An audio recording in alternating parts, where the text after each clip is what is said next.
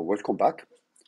The uh, topic today is to discuss further the uh, application of neural networks to uh, project number two, and also mention something about the uh, uh, quantum path integral project.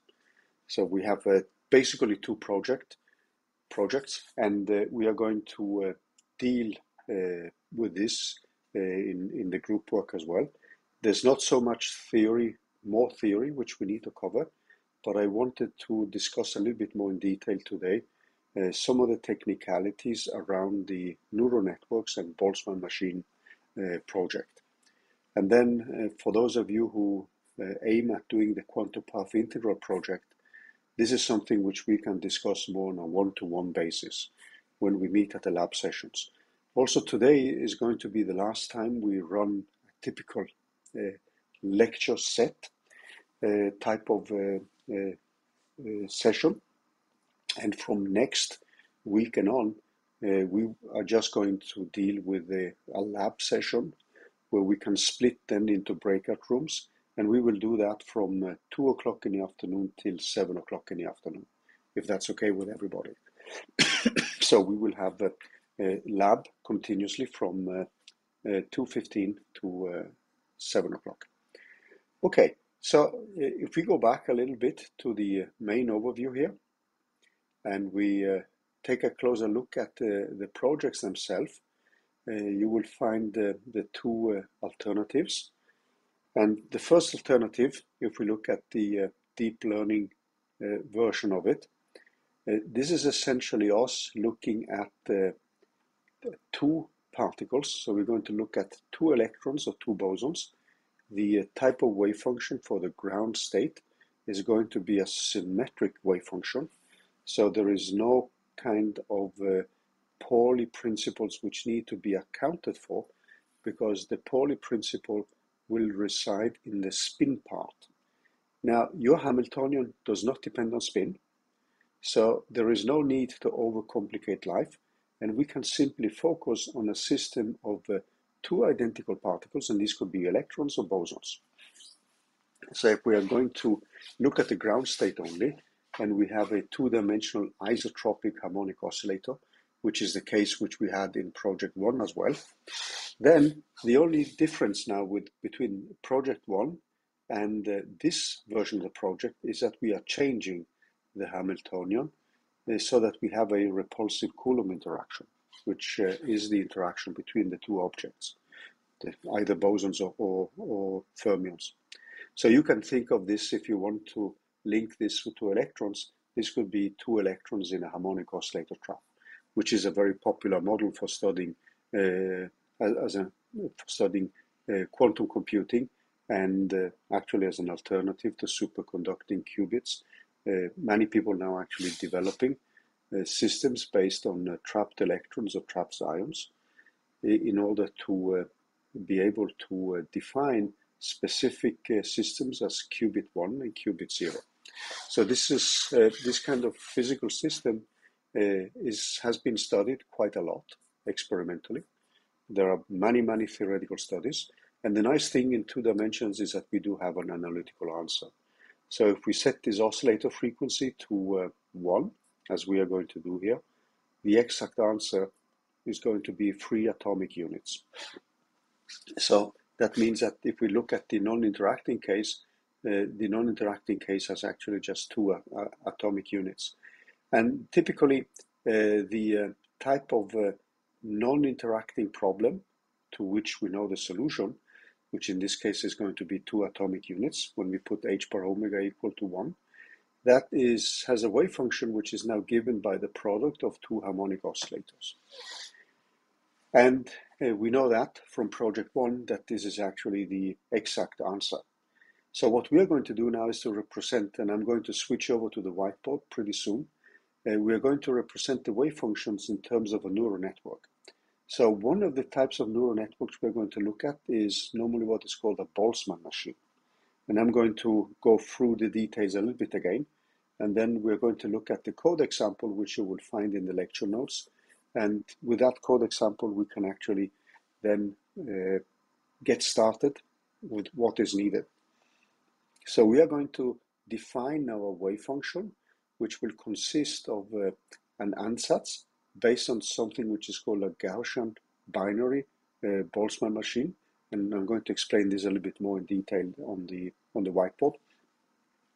And the wave function can then be given by simply this distribution, or we can represent it with the uh, uh, wave function squared to be equal to that distribution.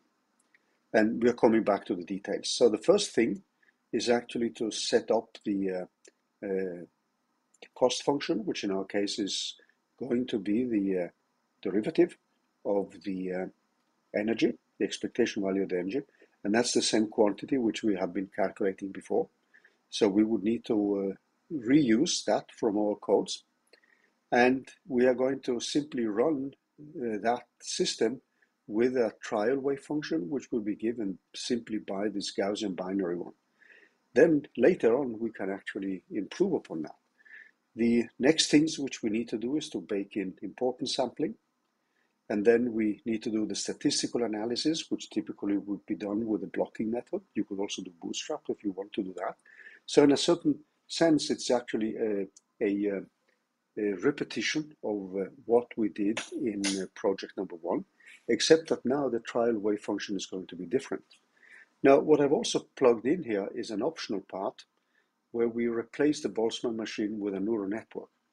And this is something which we can discuss depending on where you are after you have implemented the Boltzmann machine. So you can view this as a kind of bonus exercise, uh, which actually leads to the more interesting case. But since not everybody has implemented a neural network, I was thinking that this could be an optional part, which we can discuss in more detail at the lab sessions as well and then we can go through some of these de- topics in more detail. So this is essentially the uh, uh, neural network variant of project number two. Then there is a uh, path integral project, which uh, some of you have uh, expressed an interest to work on. And in the beginning here, depending on how much you know about the path integral formalism, there is a description of the uh, basic equations which uh, uh, are needed to be encoded.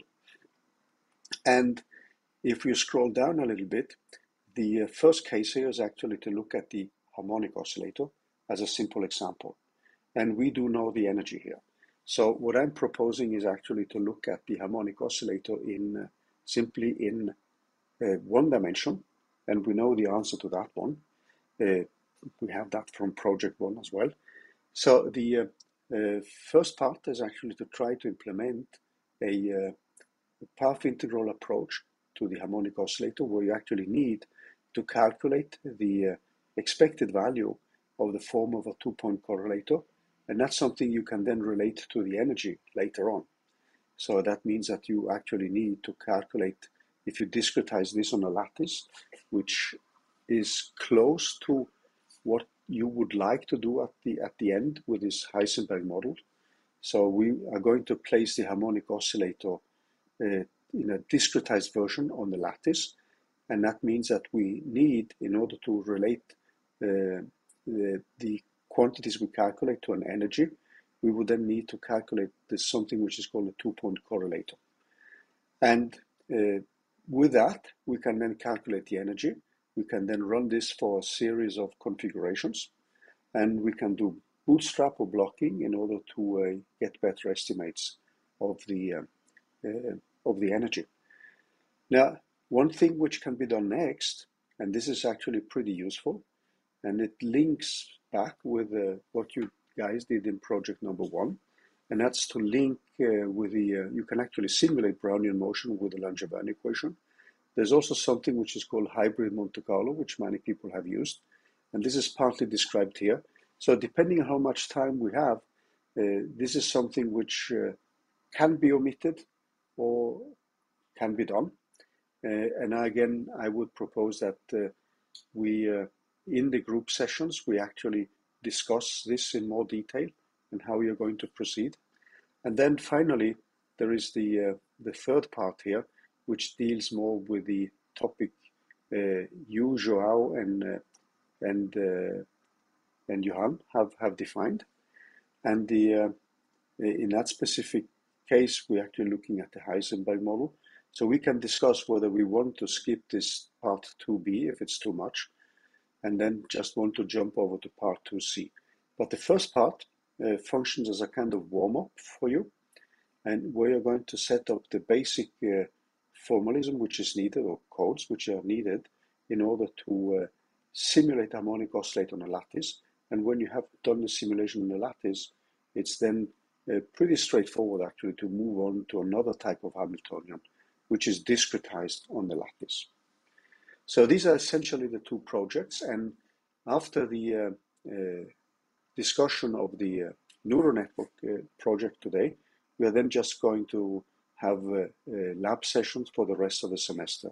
And the last lab session which we are going to have is going to be the week of uh, May 99 to 30.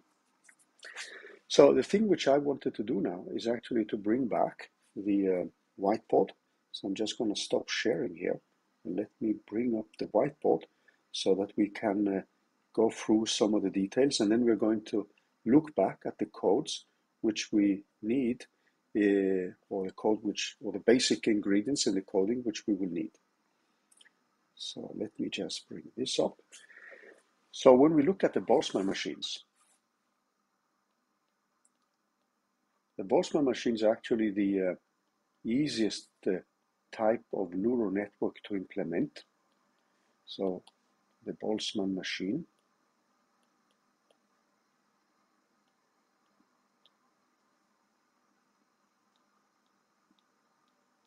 And the reason why this is easier to implement than just a plain neural network is that the, the structure which we have from project number one can actually be tailored almost immediately to this specific project.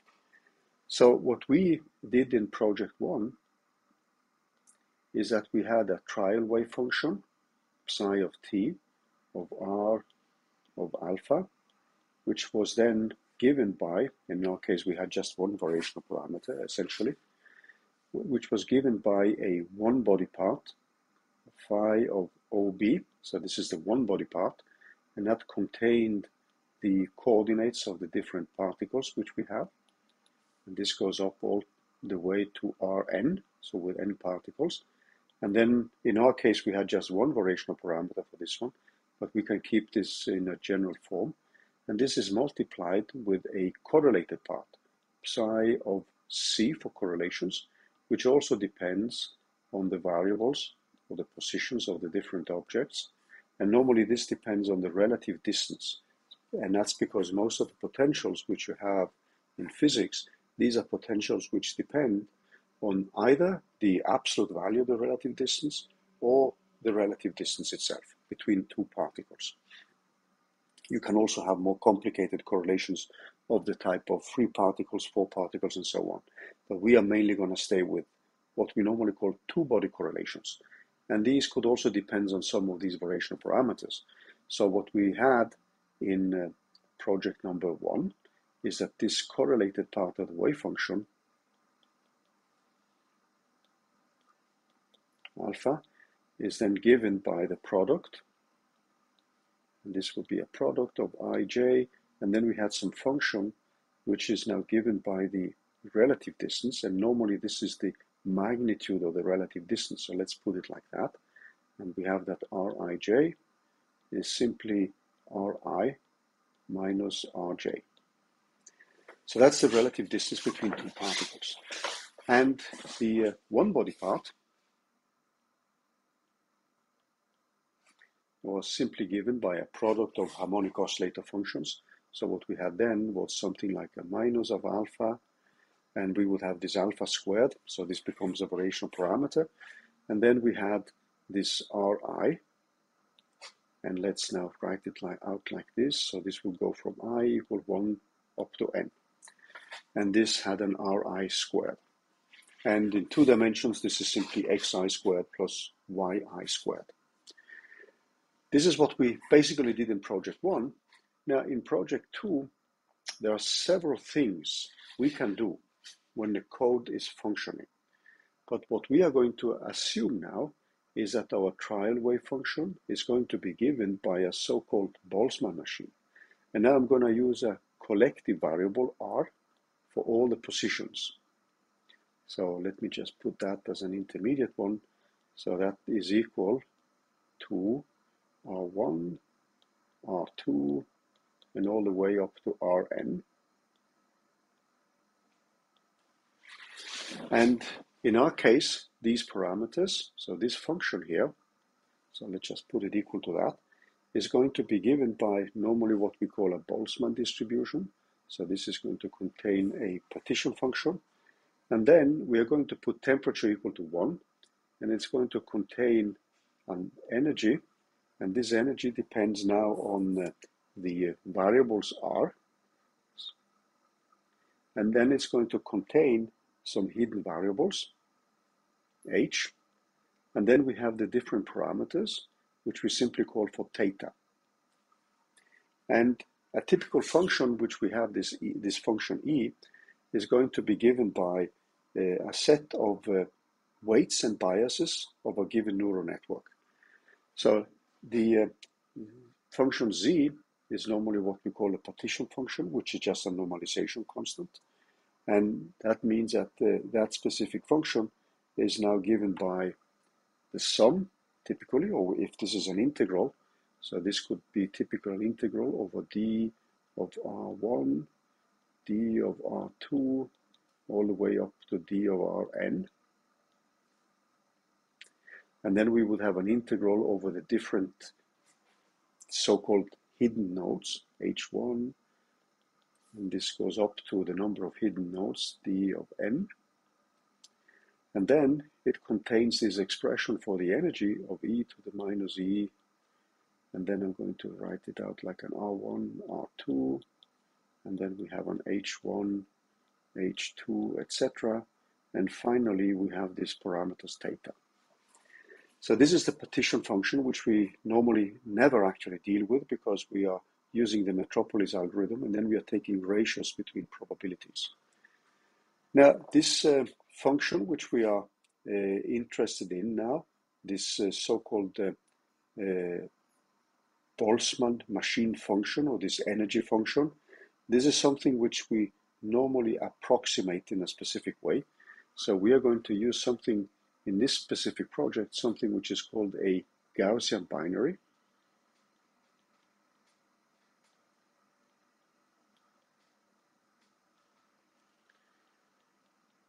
And that means that what we have is a function which is now going to depend on the weights and the biases of a, a specific network. And this is a network which now contains uh, parameters. So we are going to look at the network where we have a set of visible nodes. So we're going to set this up as a visible layer.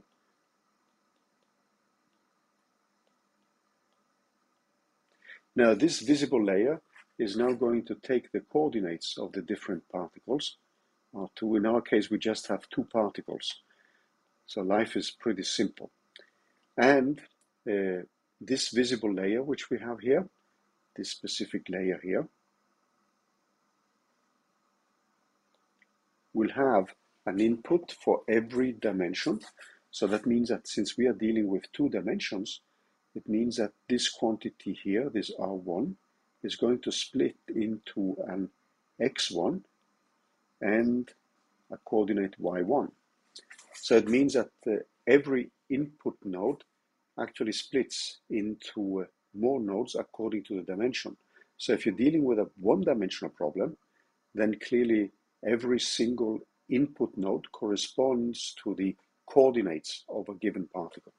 So in two dimensions, which is the case we are going to look at, this is going to be a case where we have only uh, two nodes for every position for every single particle. So if we now have two particles, it means that in our case, the number of so-called visible nodes are going to be four. So in our case, where we have n equal to 2 here, then we need only four input nodes. And these input nodes are going to be the uh, positions of the two particles in Cartesian coordinates. So I recommend normally to run the calculations in Cartesian coordinates. So with that, we then, uh, in this specific visible layer, we are going to define parameters in this energy function. So this energy function, E, which is now going to depend in our specific case on R1 and R2. And then we can define as many hidden nodes as we want. But let's just assume that we set up two hidden nodes. Then we will have a hidden nodes H1 and hidden node H2. And then we're going to have some parameters, theta. And these parameters theta, they are now going to contain the bias and the weights. So we are going to have the bias. For those of you, and I know that both of you are familiar with the uh, neural networks, so this will be a way to activate a given node in case the uh, output from the specific node itself is by accident is equal to zero. So there will be a bias in the uh, uh, visible layer, and we're just going to call that one for parameter visible. We are going to call that for an A. So that, that is one set of parameter. And we're going to put an I here just to indicate that we can have several such biases. We're going can have a bias for every single input node. And then we are going to have a bias in the uh, hidden layer. So let me just bring this up properly here. So if we now do the hidden layer, let me just bring up some of my, I just need to put up my cheat sheet again. Just have to figure out where I put down all these equations in my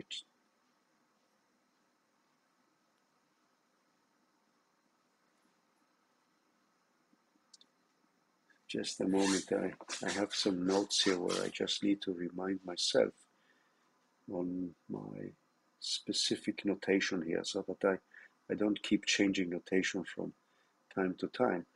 So the uh, uh, bias for the visible, for the hidden bias for the hidden layer is going to be given by a quantity bj. And then we have the weights which connect between hidden layer and visible layer.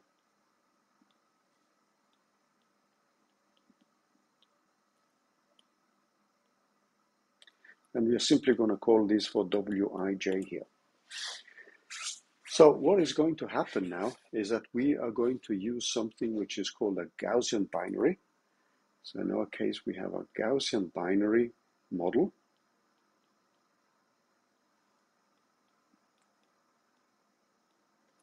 And that means that we will have an energy, and now I'm just going to skip all these kind of uh, uh, parameters in the energy expression.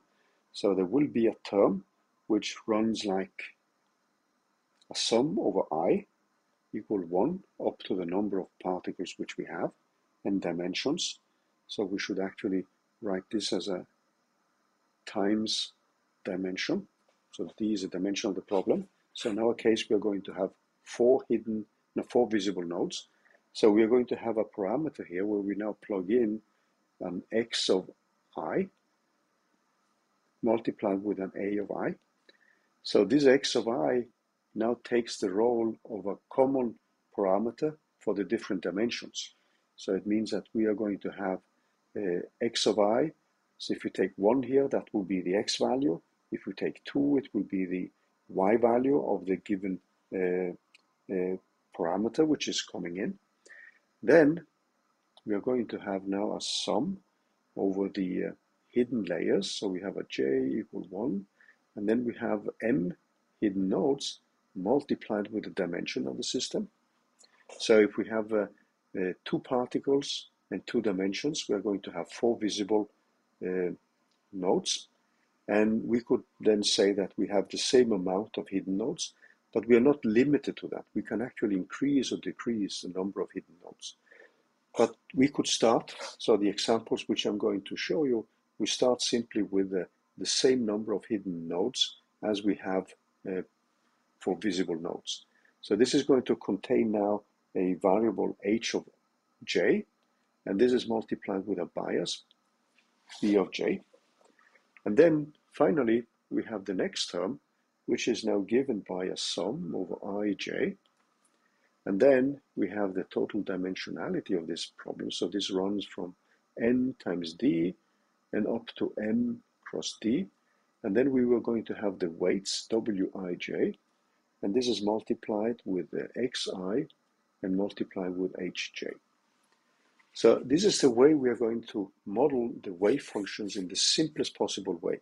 So observe now that there is essentially no kind of physics information about this specific function here. So what we have here, this specific, so I should have actually have written that better here. So this is normally called a binary binary. So that means that x of i takes the values, for instance, 0 and 1, and the same with h of i, that takes the values 0 and 1. So these are the outputs from these functions. So we can change this binary binary. So if we put a BB here, we can change this to a Gaussian binary.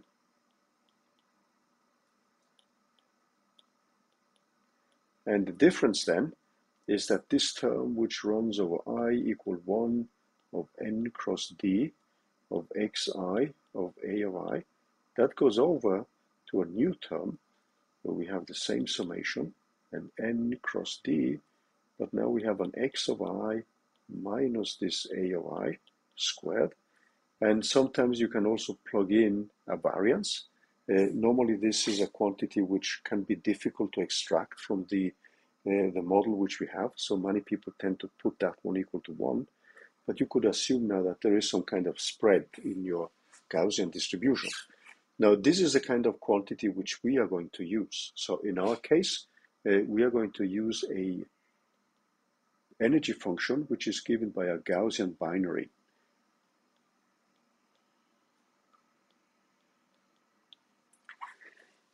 Now, the uh, quantities which we need to deal with them are uh, one, the derivative of the energy with respect to the variational parameters, which in our case are now the weights and the biases of the network. So instead of you having a variational parameters like we had in project one, the parameters which we need to optimize are now the weights and the biases of this Boltzmann machine. So if we now go back to the uh, to the drawing here, what we are going to have then is a set of uh, hidden layers. In our case, we're just going to have one. So this is going to be the hidden layer.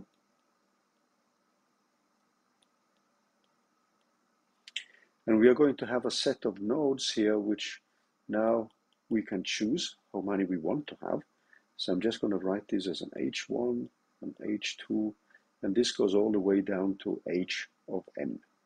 So in our case, the notation which we are going to use here, if we now just look at what we also did here, we are going to simply replace that one with the following.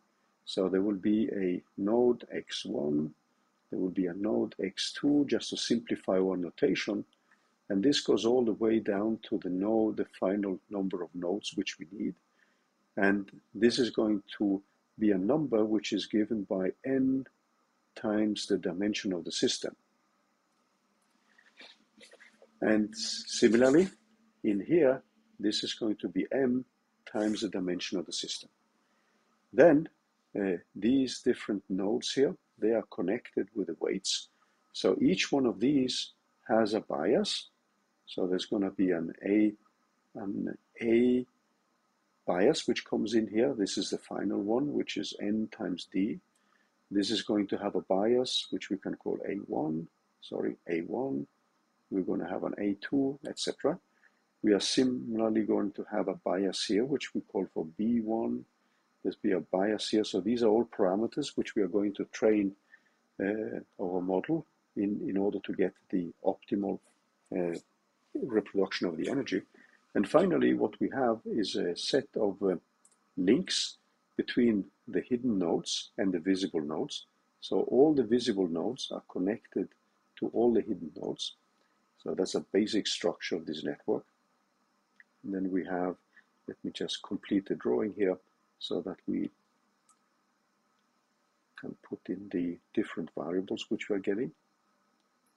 So these variables, if we now just take a node here, that's going to connect to another node here, and this is node i, and this is node j, so that's going to have a variable wij, which we need to optimize when we are setting up the, the algorithm. Now, the cost function which we need, or the function which we want to optimize now, is actually the, uh, the uh, uh, energy which we had before. So our wave function now, there are two uh, approaches to the wave function.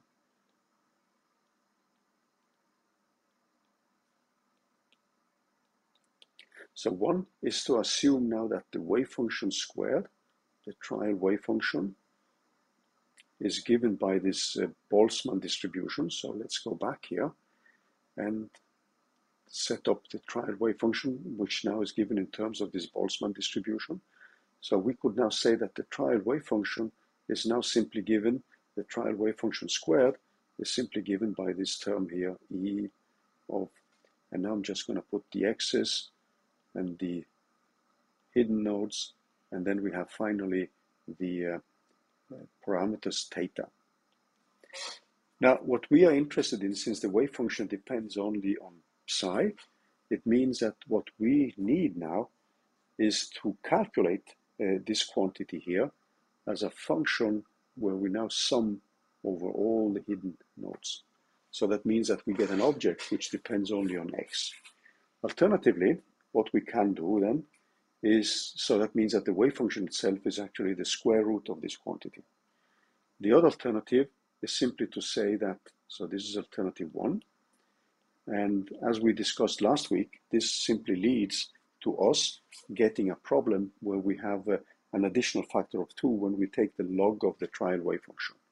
So the next thing is actually to assume that psi of t is simply equal to this term here. However, we can become a little bit more ambitious. So we can uh, add more approaches.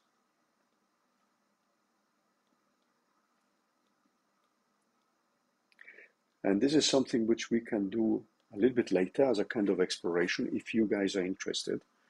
So we could now say that the, trial wave function is not only the Boltzmann machine, but it contains some kind of physics guidance. That means that uh, we could now plug in to the trial wave function some information which we have or some requirements which the physics gives us, which is not included in the Boltzmann machine. So this could, for instance, be something which relates to the symmetry of the wave function. So one thing which you see here is that if we are dealing with fermions and we are going to deal with many fermions, we won't have the proper symmetry of the wave function.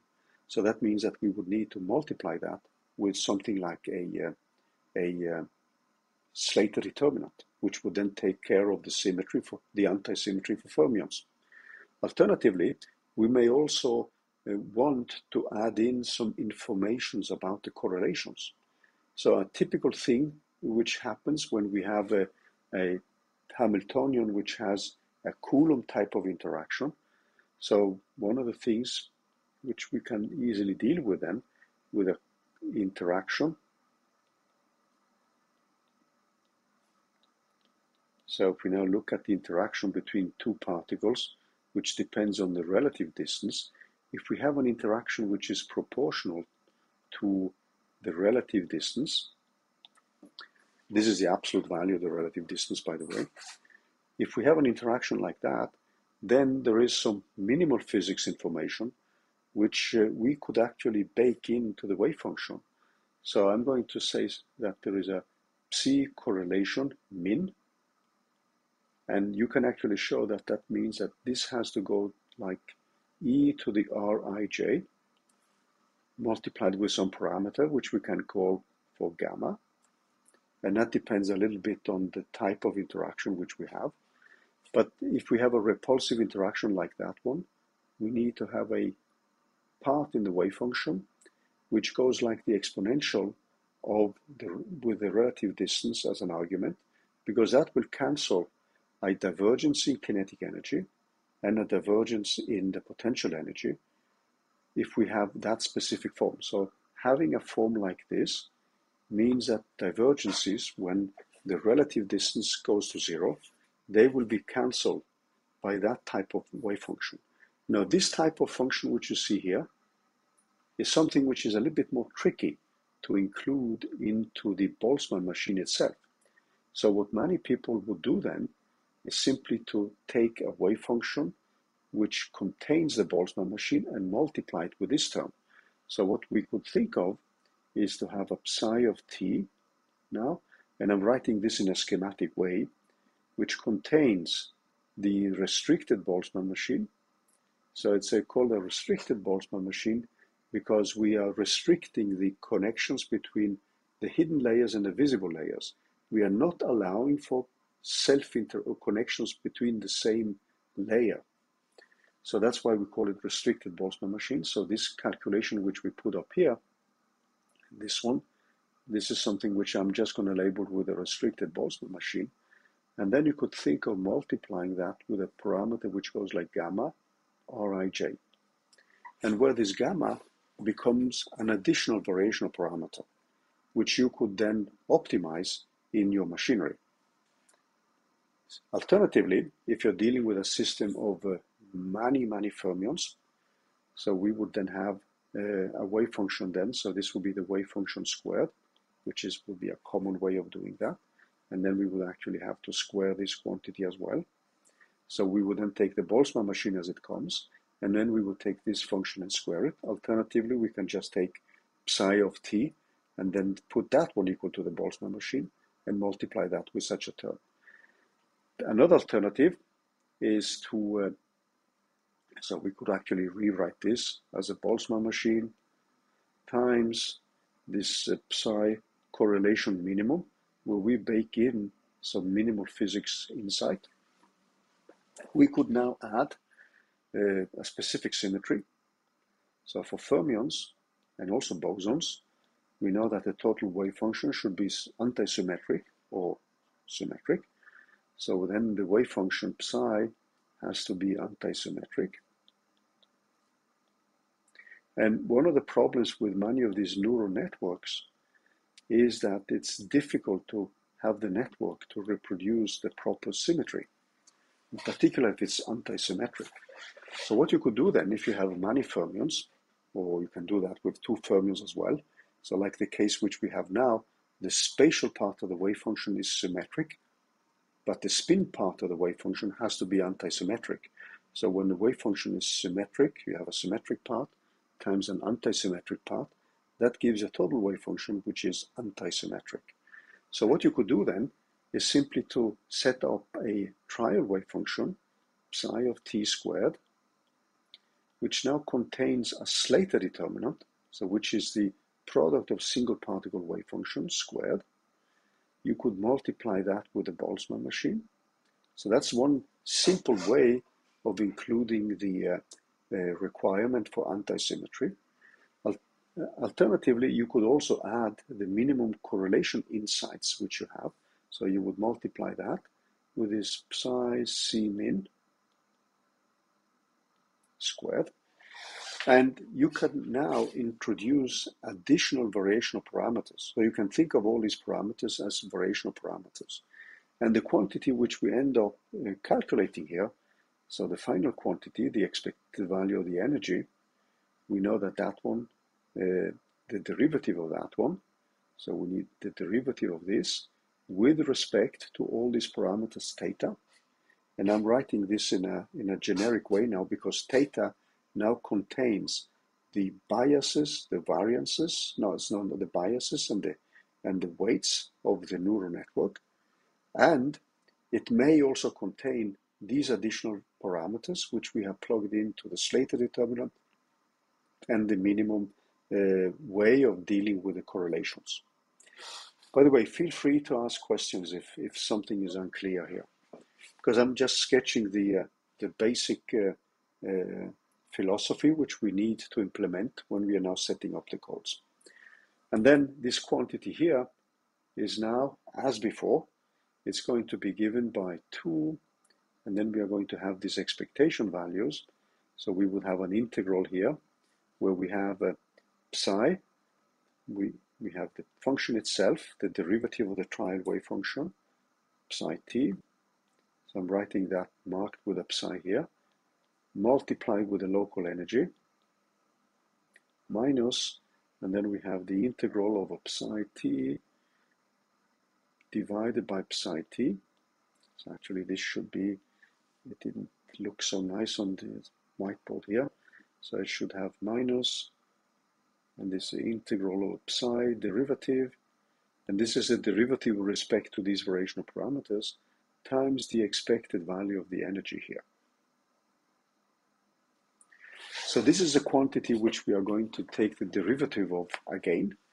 And we know that uh, when we look at that specific uh, expression there, this is something which we can simplify further by simply uh, noting that the, uh, the, the wave function itself is actually given by the, uh, uh, we, ha we have an integral of the derivative of the wave function divided by the wave function itself. So that means that we can actually rewrite that in terms of a logarithm. So this kind of quantity which we need to calculate now, if we look at this specific term here, that's actually the log of the trial wave function. And that means that what we are going to look at now is a simplified term, which was simplified, I don't know if it's simplified or not, but we need to calculate this integral. Now, taking the log of that one is something which simplifies some of the mathematics which we have in the equations above here. So when I mention uh, this factor of 2, which comes in addition, that depends on whether we use this specific form for the trial wave function. And when we take a log of that, we simply get an additional factor of 2, or whether we take this specific form, because then we won't have this factor of 2. However, the thing which is useful to keep in mind is that when we are evaluating this quantity, it's actually the log of the trial wave function which we are setting up here. So basically, these are the uh, different approaches which we can take when we now are going to set up a uh, Boltzmann machine. Now, when we've gotten familiar with the Boltzmann machine, uh, if you still have time to do so, uh, we can then start looking at the, implementation of a neural network. Alternatively, when you are working in groups, so some of you could look at the neural network implementation, and some of you could look at the Boltzmann machine implementation. So the Boltzmann machine implementation for this specific problem is almost spelled out uh, in the lecture notes. And after the small break here, we are going to take a look at the, that specific code and the equations which we need to set up. So we should take a small break now here, if it's okay with you guys. So I'm gonna. So welcome back again. If we now look at uh, what we had before the break, uh, we have a uh, quantum mechanical system which we are now going to simulate with Monte Carlo methods, but where we are going to replace or parts of fully uh, of, or everything of the wave function with a uh, Boltzmann machine. This is the first step we're going to do now. So if we just scroll back a little bit, a Boltzmann machine is a system where we can actually keep changing uh, or generate new inputs. It's not like a standard neural network where you would have a fixed input and a fixed output we are going to change both the inputs and the hidden nodes uh, according to a minimization uh, problem, which in our case deals with finding the optimal parameters, which simply set the derivative of the energy to zero. So that's the gradient which we actually want to be equal to zero as a function of the different parameters. Now, the network contains uh, input an input layer. Normally, this is something which is called a visible layer, and that visible layer has a number of nodes which reflects, in our case, the number of particles and the dimensionality of the problem. So, for the case which we are going to look at in project number two, we are going to have two particles and two dimensions. So that means four uh, visible nodes. Uh, you can increase the number of hidden nodes to go beyond four, but you can also keep them equal to four. So in the example codes which uh, we have here, I have been running examples with uh, the number of hidden nodes, which is uh, equal to the number of visible nodes. Uh, increasing the number of nodes obviously just increases the number of parameters you need to fine tune. So in principle, this means that what we're going to have is four inputs nodes and four hidden nodes. So that gives us eight biases, which needs to be tuned. And then we have the uh, matrix, uh, which uh, gives us the weights. So that will be a four by four matrix in that case. So you will have 16 parameters which need to be tuned. You can obviously increase this. You can add more hidden layers. Now, Boltzmann machines have traditionally been a little bit more difficult to uh, evaluate when you increase the number of hidden layers. Note also that there is no connection between the nodes in a given layer, and that leads to what's normally called a restricted Boltzmann machine.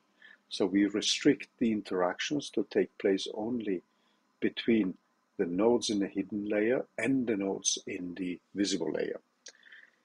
So the um, uh, trial wave function which we end up with can be solely determined by the type of Boltzmann machine which we end up like a typical Gaussian binary.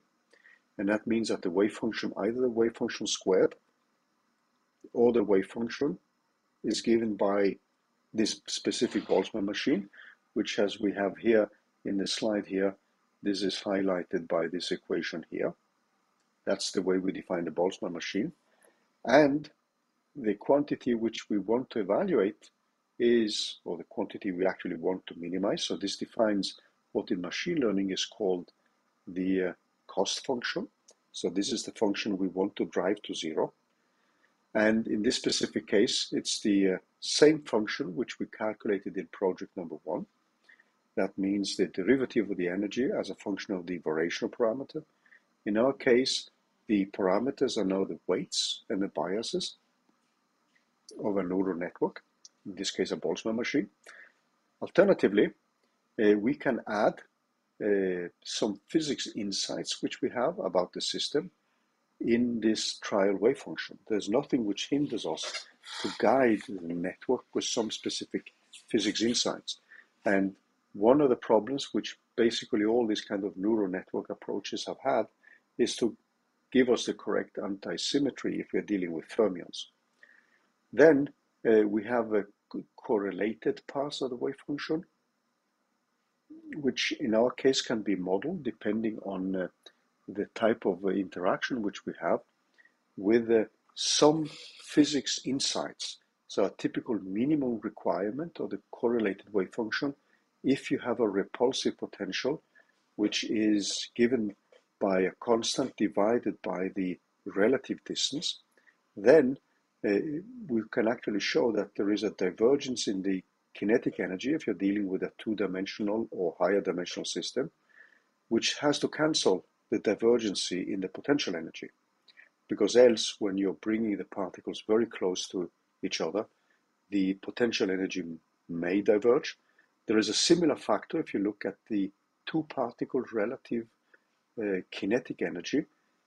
So you're making a transformation from uh, the laboratory frame where you have the positions of particle 1 and 2 in this case, and you transform that to the central mass variable and the relative distance variable, then there's going to be a uh, term in the kinetic energy which goes like 1 divided by the relative distance multiplied with the derivative of the wave function with respect to relative distance. So that term has to cancel the divergency in the potential energy.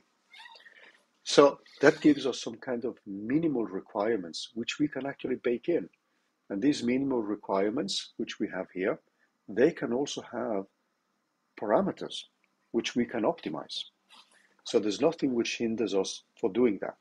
So if you have time and you wish to explore uh, options like that, I mean, feel free to do that in this project here. Then, uh, since you're going to have something which is uh, pretty similar to a neural network. If you feel that you have the time for it, we can then extend this model here or actually replace the Boltzmann machine with a standard neural network. What's going to happen then is that what you will need is actually this piece here. So when you're doing your neural network training and setting up the cost function, your cost function is this quantity here. And it means that you need to evaluate these derivatives as you back propagate the weights and the biases and do the training of the weights and the biases with a standard neural network. So for those of you who are familiar with neural networks, feel free to explore this possibility. And I would typically recommend uh, exploring that using software like TensorFlow or PyTorch, unless you want to write your own code for doing that. Okay, so uh, I'm going to go a little bit back to the uh, uh slides, and I wanted to link these ingredients with the code uh, and the equations here and show and point to you the uh, uh, bits and pieces which you would need to have in the project. So let me switch over to the slides. So what I'm showing now is the uh, slides which you will find when you look into the lecture notes on Boltzmann machines. So what we have uh, is this is just a summary of what we did. So we would now have a Boltzmann machine, which is given by this function E here, which has a visible layer and a hidden layer. You put T0 equal to 1, and then uh, you can then define the so-called marginal distribution, which is the quantity we are interested in because that is going to be the final wave function. It's going to take the positions of the particles as arguments. So that means that we would have to sum over this h. Now, this mathematics is done here, so you don't need to do that yourself. It means that the uh, uh, calculations which you would need to add, or the elements which you would need to add in your code, would be a function of uh, the uh, all the dimensions you have. So m here now is the total number of uh, visible nodes, and uh, n here is now the total number of hidden nodes. So remember now that this number is equal to the number of particles times the dimensionality of the system. So this is the analytical expression which you would need to plug into the code. And where you now have the weights here, we're going to put this sigma squared equal to 1. We have the biases, and then we have the uh, parameters A here. So we're going to take derivatives with respect to these parameters and then optimize the uh, energy with respect to that. And there are, as we mentioned before the break, there are two ways of doing that. One is to set the wave function equal to the Boltzmann machine, or the other one is actually to uh, go back and say that the wave function is the uh, the square wave function is actually equal to this Boltzmann machine. And that means that the, the wave function itself is now going to be the square root of this quantity here. Now the partition function disappears in the Monte Carlo machinery because we uh, actually never used uh, the partition function since we are taking ratios between wave functions. And the equations which you see here, which I provide you with here, are the equations which uh, you would have to program. And since we are going to take the log when we calculate the cost function, so the, uh, the gradient of that function is now given by uh, three integrals one which contains the local energy operator multiplied with this quantity here, which becomes the logarithm, as you can see here. So that's the logarithm of the function. And then we have a separate integral from the local energy as we had in project one, and similarly a separate integral for the uh, logarithm of the, the derivative of the logarithm with respect to the weights and the biases, and additional variational parameters. So that means that when we take the log of this quantity here, things simplify a little bit. And when we are going to calculate the energy here, we are simply going to need different derivatives. And this is actually what is coded into the, uh, into the code here. So if we scroll down and we skip some of these details and just rather take a look at the code, you will now see that the trial wave function here takes as input the uh, positions of the particles, so this is R. It takes the biases for the visible layer, the biases for the hidden layer, and the weights here. And in our case, I'm just putting this sigma equal to 1 because I don't want to calculate it. And sometimes when you don't want to calculate it, just put it to 1. Then I have my uh, term here for the uh, visible layer, which you can see here, which is now my so-called uh, Gaussian factor. So that's going to be for the harmonic oscillator case. This is going to be pretty close to what we are having for the harmonic oscillator. So keep this in mind that if we use a Gaussian binary, we already have parts of the exact wave function in terms of this uh, piece here, which now depends on the uh, on the uh, on the difference between the uh, position and the weight uh, and sort of the bias value. And here we have an array which now loops over the uh, number of particles and the dimensionality. Then there is a piece here which now runs only over the hidden part of the wave function. And if we go back a little bit, you will see now that the hidden part of the wave function is now given by, so what is being coded there is actually this term which you see here. Actually, it's the square of that term. And the um, uh, final trial wave function which we have is now going to simply to be the product of these two terms here. And you can see now that you have the, the psi of i uh, 1, which now contains this uh, Gaussian part, and then we have the, uh, the part which now contains the, uh, the hidden part. And this function q here actually sets up the two additional terms which we need. Then, finally, we have the local energy which we need to calculate. And that is very, very close to what we had before, except that now I'm calculating the log of these two functions, psi of i1 and psi of i2. So the psi of i1 contains the information about the visible layer, and psi of i2 is the one which now takes the hidden layer. And when you look at this expression here and you go back and look at the mathematics, you will see essentially that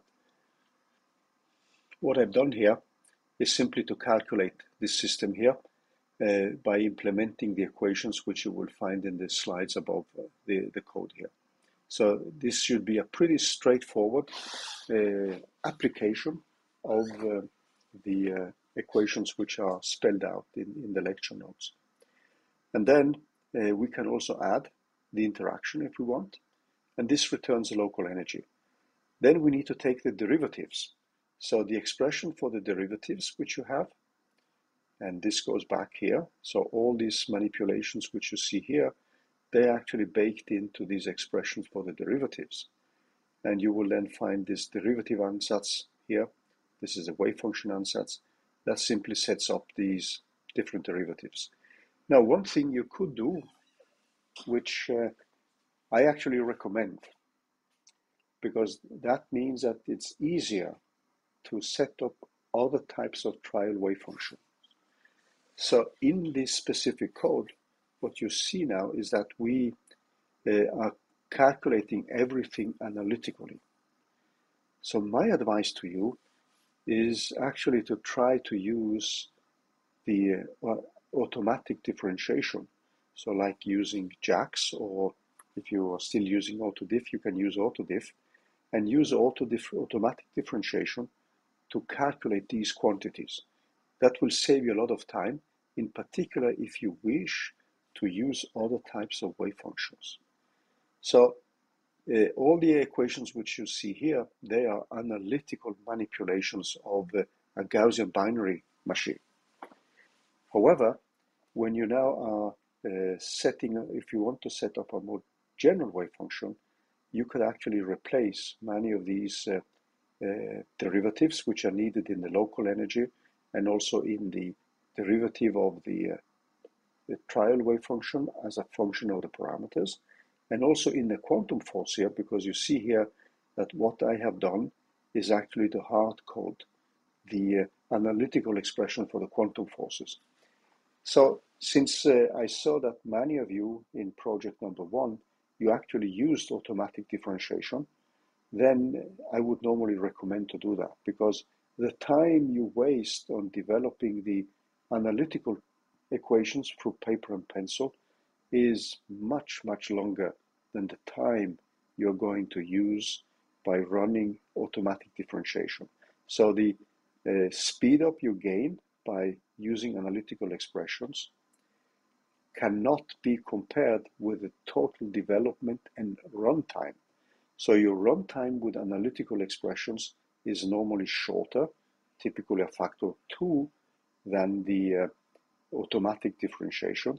But if you're running a calculation which takes a day and it took you a week to uh, develop all the analytical e equations, and then if you're going to add a new type of wave function, and it would take you another week, and it still just takes nothing but more than a day to run the calculations, then your time in uh, is in, in actually extracting these analytical equations is perhaps almost wasted. So it's always useful to run an analytical calculation. However, uh, this gives you very little flexibility. And with the tools like automatic differentiation, uh, which implement uh, the chain rule through repeated uh, actions, this is a much more efficient way of uh, doing scientific programming. So my advice now is when you do this project, and this could be a, something which is a, a, useful thing to look at. So try to uh, uh, perhaps copy these equations, implement them, and then when you have a running code, try to replace everything with automatic differentiation. And you will then see that you will have much more flexibility in introducing other types of equations for the wave function. In particular, if you now want to uh, implement the calculation of a, with a neural network. So with a neural network, the thing which you're going to do is actually to replace the correlated part of the wave function with a neural network. That is normally the best way. You can also use these Boltzmann machines as an input uh, to a neural network calculations. So the Boltzmann machine will not give you the exact answer because it will depend uh, on the type of uh, Boltzmann machine you use. And remember that what you're doing is a strict variational calculation. So it will find the minimum energy which corresponds to that specific wave function you are plugging in to the calculations. So I'm bringing up all these aspects because these are things which are uh, important to think about when you want to move on. So the first step is actually to look at what is in these slides and try to implement it yourself and try to understand the basics of these Boltzmann machines. But then, if you replace everything with automatic differentiation, it's much easier to actually uh, implement a neural network. So this is uh, something which is useful to think of in, in the long-term run. Then we have the uh, ansatz for the derivative here. We have the quantum force, as we said. And then we have what you see here. And these are the elements which you have in the code. This is a standard approach, which you did in project number one as well. We implement importance sampling, and we have to calculate the uh, quantum force in the old positions and the quantum force in the new positions. And then what we need are actually the uh, derivatives of uh, the energy. We have the, the derivatives of this function psi, and then the derivative of the wave function multiplied with the energy. So these are the three integrals which we need to set up. And uh, the uh, uh, thing which follows here is essentially what you have seen before. So the reason why I also repeat a little bit of this is that I want you to think about possible strategies and how you can move on after you've implemented the Boltzmann machine. So here we have the, the plain uh, importance sampling part with the calculation of the Green's function as before, nothing is changed here. So this piece is a piece which uh, basically stays the same. And uh, finally, you calculate these uh, contributions to the integrals for the derivatives of the wave function. And here, again, I have this very, very, uh, how to say, uh, in addition to calculating the, the uh, derivatives, you see now that my iterative scheme here is still the same primitive iterative scheme. So in a certain sense, I'm not giving you uh, all the advanced options, and you should actually think of bringing that those in yourself. And when you are uh, implementing this with a neural network, for instance, then you can use via TensorFlow or PyTorch or similar tools. You can then use all the gradient uh, optimization methods, which you, which some of you are familiar with. So here I'm just doing the max iterations and calculating the derivatives. And you can see now that the my energy, so this is an example of a run here. And uh, after 50 iterations, you can now see that my energy is just fluctuating around 2. So this is a non-interacting case, as you can see.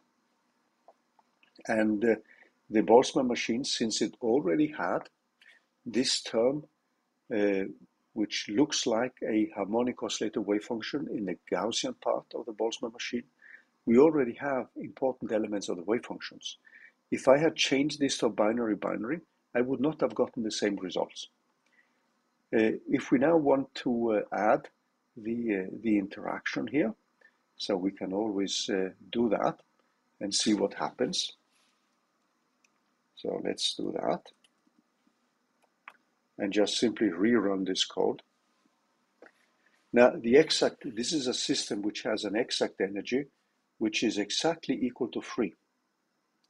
And you can see now that this Boltzmann machine has no information about this optimal uh, wave function, which needs to include a kind of minimum information about the correlations. So when I had the plain Boltzmann machine, which already contained the uh, type of harmonic oscillator functions, I was actually spot on here. So one thing you can think of is actually to multiply this Boltzmann machine with a, uh, okay, so this wanted me to reload here. Uh, okay, overwrite. So you can see now that the energy keeps oscillating around something from 3.2 to 3.3. And these are the final results of the 50 iterations here. And uh, you see now that you're missing uh, important elements in the in the wave function. You could obviously try to increase the complexity of the uh, Boltzmann machine. And in our case, we have uh, fixed uh, the number of uh, particles to be two, and we have two dimensions, so that means that I have four visible nodes. And we can now, these are things which one can actually change when you're setting up your uh, calculations here. So you could now define, as you can see here, what I've done here is to say that the number of hidden is equal to 2, dimensions 2, and number of particles is 2. I can clearly change the number of hidden nodes. I can add complications to the system. So feel free to play around a little bit with these codes here. And then we can uh, uh, when when you have implemented this, then we can start looking at uh, whether we would like to move on and implement uh, a neural network. Because when you have this machinery up, you actually have many of the basic elements which are needed in order to calculate a neural network. So in the neural network, you would use everything which you have here. So this will be, in principle, these are your integrals which are needed in a neural network. The uh, only difference is that now the uh, wave function itself, if we now go back to the uh, whiteboard, so let me just stop this one and feel free to ask questions if you have. But if we now go back to the whiteboard and look at the next stage,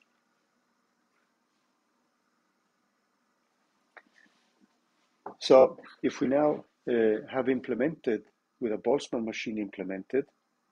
So let me just bring this up with an RBM.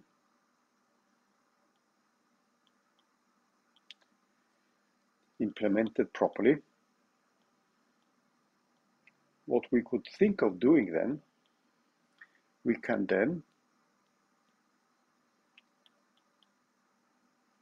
replace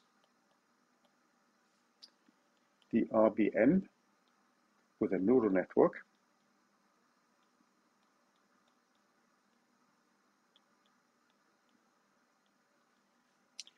And the way we can do this now is as follows. So here, what we have in, in, in this part, which we have been discussing, our trial wave function psi of t is now proportional to this function which we call an RBM. And this RBM is now given by an energy which is given by a Gaussian plus a binary part. So a binary part for the hidden layers. So when you have this kind of structure, what you could do is obviously to multiply this. So you could have a new wave function, psi of t, which is proportional to an RBM, the same RBM, but then you could multiply this with a psi C min correlation and see if that actually improves the calculations which you see here. And if you do that, you will actually see that the uh, calculations are improved. Now, when you then uh, have done these calculations, you could use this as a kind of this trial function, as a kind of input to uh, a neural network use this because then you have a trial wave function, use this RBM as input. So that means that we just take this piece, we don't use the, uh, the other part, as input to a neural network.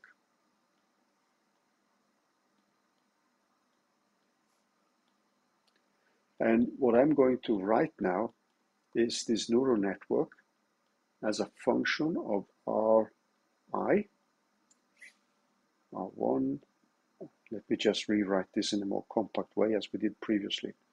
So this neural network now would be a function which depends on the positions of the particles. We could actually give some information about the correlations. So we could train the network to uh, respect the fact that we are interested in uh, quantities which depends on the relative distance as well, then this will now contain the parameters which we have here. So that means that the wave function, we can choose different strategies. So psi of t could then be equal to n of r of theta. And we would then initialize the neural network either by some guess which we have, or we could take the Boltzmann machine, which we have, and use that one as a first guess for the neural network. And with that wave function, we would have to calculate the derivatives uh, with respect to the variational parameters. So now the wave function is a neural network. Now, we could now change this neural network to simply be given by this n of r neural network of theta multiplied with some minimum physics insight. So we could, uh, uh, since we know that we have a repulsive Coulomb type of interaction, we could simply say that our trial wave function should now contain such a correlated part, which we normally call a Jastrow factor. So in project one, we used to call this a Jastrow factor or a correlated part of the wave function, or and so on. Then clearly, what you could also do, since you know that this is a harmonic oscillator, the next stage could be actually to take a psi harmonic oscillator for the particles which are involved. So you have a harmonic oscillator which you could take from your variational calculation, where you have found the optimal parameters for the harmonic oscillator, you could multiply that with a psi c min. And finally, let the neural network explore the rest. So you can guide the neural network to uh, uh, depend, for instance, only on the coordinates of the particles, but you could also bake some conditions on that it should also depend on the relative distance. and then let the neural network find the remaining correlations. So you see there are several strategies. So one of the strategies which normally works best is a strategy where you try to uh, take this harmonic oscillator part and multiply that with a neural network. And then let the uh, neural network find the uh, remaining degrees of freedom. So the reason why I would like to focus on the Boltzmann machine first is that this is something which is all has a very, very close overlap with project number one. So you can reuse basically everything you did in project one, but replace the trial wave function with a Boltzmann machine. And you will see that for the uh, uh, non-interacting case, the fact that you have a Gaussian binary expression for the energy, that will give you a result which is going to be pretty close to the exact result, which in our case in two dimensions and with an h bar omega equal to 1 is going to be equal to 2. And you saw that from the simulations which we run. However, when you bring in the interaction, then the Boltzmann machine does not have any information about the physics here. So that would be the same as you running the variational Monte Carlo calculation without the uh, correlated part, but only taking into account the single particle piece of the wave function. So what I would like to propose now is that uh, we uh, uh, as groups. We just uh, keep working on these projects. And then, depending on where we are, we can then say that when you're done with the Boltzmann machines, and if you want to move on and do more advanced studies with neural networks, then we could take it from there. But the first step is actually to uh, get a Boltzmann machine to function. And that will be our entry point to uh, deep learning methods with uh, with uh, a Boltzmann machine as the uh, method which we are going to use. So I'm going to stop the recording here and then we can